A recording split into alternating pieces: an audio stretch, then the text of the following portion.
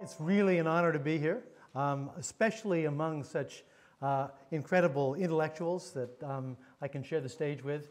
My job, as I see it, is to give you a preview in many ways of some of these differences and a few hints as to how I think about them. Uh, although I'm a neuroscientist by training, I'll talk very little about brains today. I want to just sort of give you uh, a broad sense of how I, I like to think about human uniqueness uh, in the sense of the problem of what a symbol is. Uh, this is a complicated problem because, in fact, we don't really have one definition of what a symbol is. And what I want to do is to try to take it apart a little bit and to talk a little bit about uh, how I think um, our unique abilities to deal with this way of referring to things uh, has changed us uh, fundamentally in comparison to other species. And I want to put it in context with a fairly simple and mundane example um, to show you that what we think about as symbols are really part of a much larger picture uh, in which they are probably the most developed and most subtly complex form of communication, of sign, so to speak. And that's using this example of a signet ring uh, that we use, for example, to close an envelope and identify the person who did it. There is an iconic aspect, that is a part that we recognize by its likeness to something else. And that likeness becomes important at many, many stages. First of all, just simply the whole sign vehicle itself, that is the wax impression, uh, is a likeness that we've seen others like it. Uh, but there's, of course, a more fu fundamental likeness between the ring impression and the wax that was impressed by it. But we know something more about it. We know that somebody in particular did it uh, with a particular ring. And we know this because he had to be or she had to be physically connected to that mark. That's an indexical relationship. We know that this indicates, we say, that this person was there, was involved with sealing this, this note as a signature on a document uh, is an indication that you were physically present and part of it. It indicates it in the way that a thermostat indicates temperature. Um, however, uh, to understand the bigger message here, we need something more than just knowing about the physical features here. And what we need to know is that a person that has a ring like this is probably a special person.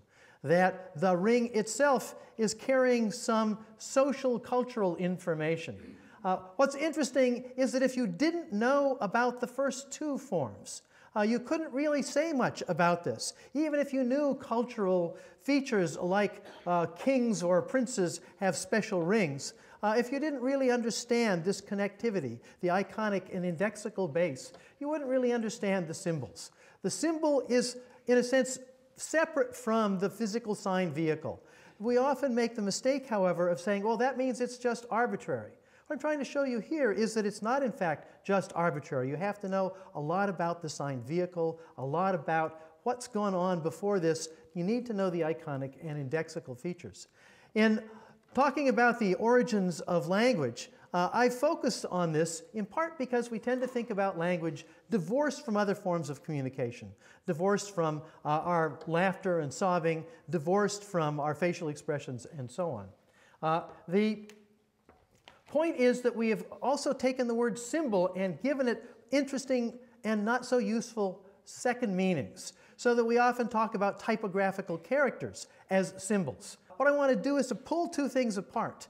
The character itself, uh, like these letters on this page, are symbols in the sense that they were designed to communicate symbolically. But very quickly, if you notice this little, what's called an emoticon these days, in the first line of this, the smiley face uh, is made up of, quote, typographical symbols, but it doesn't refer to anything symbolically. It refers by virtue of its likeness. It's embedded in a whole symbolic uh, complex, but its reference is iconic.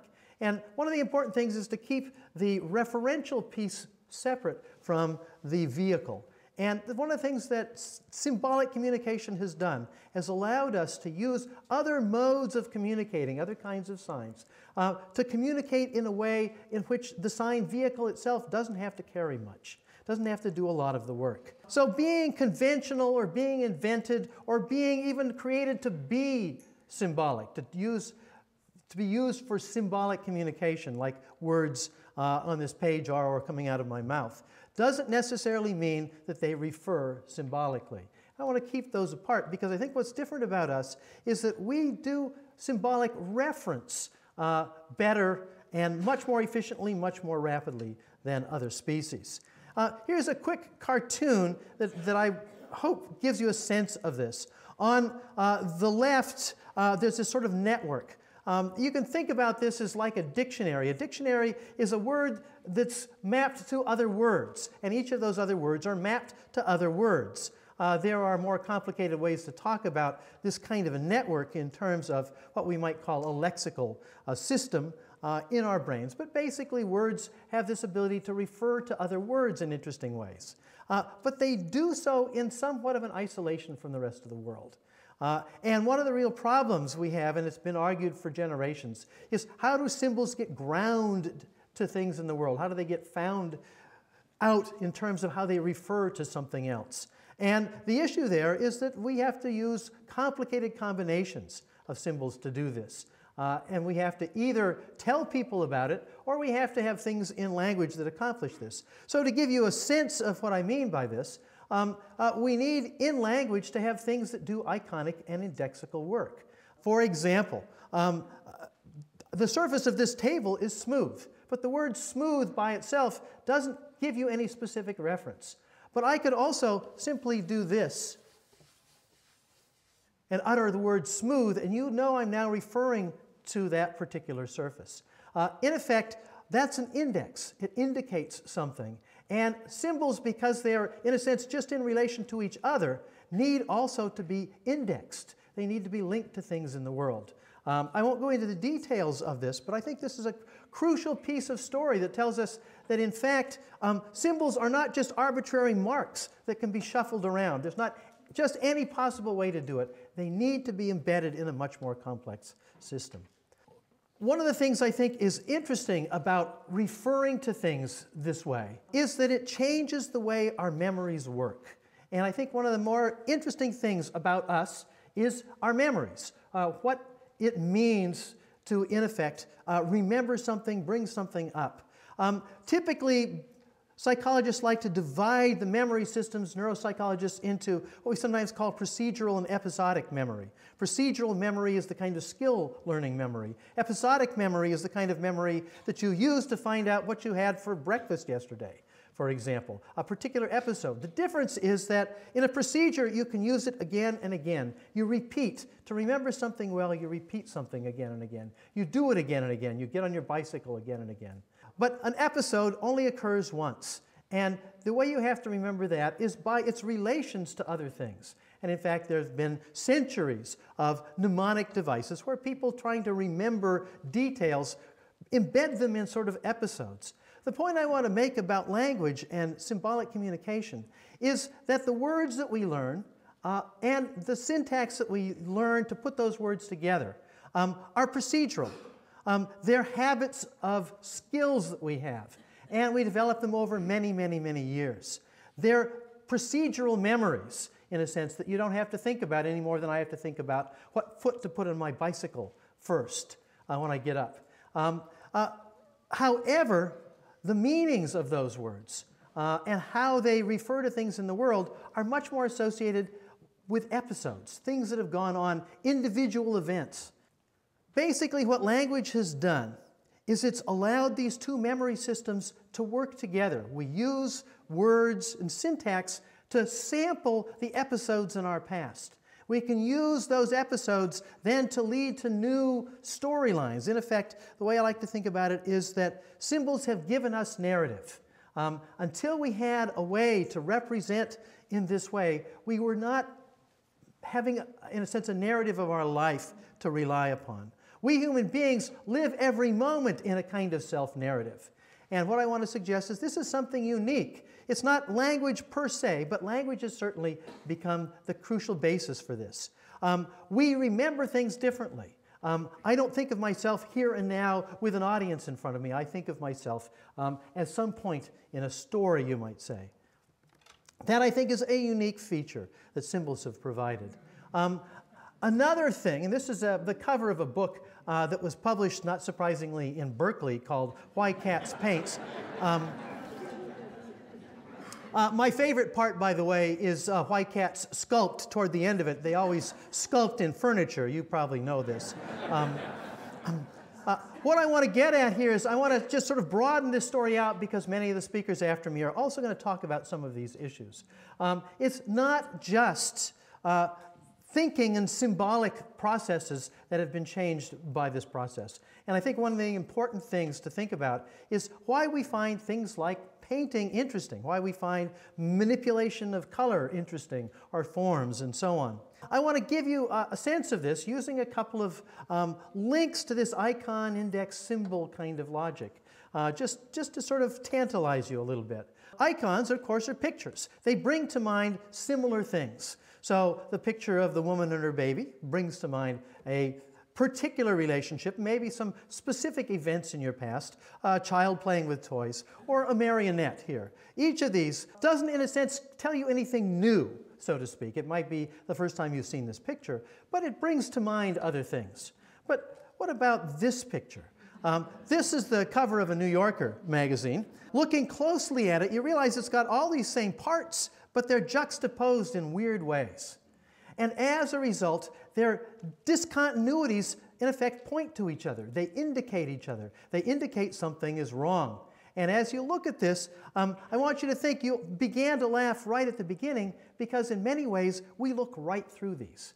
We look through it not to see a puppet and a baby and a mother, um, we see it's commenting about something. What is it about? That's what we're interested in. We're interested in this sort of general symbolic background. Uh, but it's using these icons and indices in juxtaposition to get us there. We find this very common, and I, I like to use artistic examples. Uh, the one on the left, of course, is a comment about something. It's not, the, it's not a city, it's not a ruin. Uh, it's a comment about something. We don't see it for what it is, we see it um, for something that's behind it, so to speak, that it points us to. As most political cartoons, of course, do this very commonly, use odd juxtapositions that themselves carry meaning, sometimes cultural meaning. But it's the configuration, the picture, and how the contradictions or the symbols within them, how they point to each other, and so on, that lead us to a meaning that's behind it. I want to use a concept that's been developed by people both here uh, and elsewhere, a concept called conceptual blending, to talk a little bit about how using symbols has changed this way of thinking. Now, uh, there's other ways to do it, but here's the, the depiction I want you to take away. The bottom part of this is about conceptual blends. The two clouds towards the bottom are meant to represent uh, basically two symbolic ideas, perhaps uh, pictures, uh, perhaps words, perhaps phrases, uh, perhaps events. Um, what's going on here in a conceptual blend is that you basically see their relationships to each other. You link their components to each other in various ways. Uh, and the picture down below shows that, in a sense, you get a blended image as a result. Lots of ways that we use to think about the past, what could have been, what might have been, um, things that don't exist oftentimes can be thought about in these sort of blending terms. But what I want to point out is that oftentimes symbols, like the ones I just showed you, various pictures, come with an emotional tone as well. There is some attachment we have to mothers and to babies, for example, and to puppets, and to what puppetry might mean indirectly. Um, each of them carries an emotional feature as well. So when you blend symbols, when you blend images, when they juxtapose in various ways, you are also incidentally blending emotional states. Um, not in the same sense that you would as when you encounter a direct interaction with someone that drives up an emotion. It's, it's a much weaker version of it, but it's a juxtaposition. And the way I like to look at it in terms of how the brain is working, and I won't go into any detail about this, but it, that in fact we have very different parts of our brain that are involved in the positive, generating positive emotions and negative emotions. And what that means is that if a particular juxtaposition um, uh, allows us uh, to bring together these emotions, what we've got in effect is what I would call an emergent emotion, an emotion that normally we wouldn't have um, but can be brought together in unusual ways. And I like to think that, in effect, that a joke does this sort of thing. Uh, what does a joke do? It brings together juxtaposing things that are mutually exclusive. And as you follow the punchline, is that um, you're led down a sort of garden path and suddenly something changes. Um, that other meaning was possibly there, but hidden, as the one up on the far right, the little green sort of empty cloud up there. Uh, but when the punchline is given, or when you figure out what it means, suddenly the one meaning is tossed out and the other meaning comes in. That is, one emotion, as I show it down here, in a sense has to be suddenly shut off. One tension has to be suddenly shut off. The other one comes to life. This is a very sudden event, and it's a very intense event. Um, similarly, when we have an aesthetic experience, oftentimes it's because of a juxtaposition as well. Um, and uh, that juxtaposition is one that maybe doesn't ever resolve. So, what I want to suggest here is that these capabilities didn't just change our cognition, didn't just give us language and logic and science. They actually changed some very deep things about us. Um, they give us um, what I think is a unique emotional world to live in, um, a unique set of experiences, and what's quite surprising is that these are experiences that we love, that we seek out. This kind of juxtaposition, this kind of use of symbols to manipulate our experience is, I think, one of the hallmarks of being human. Thank you.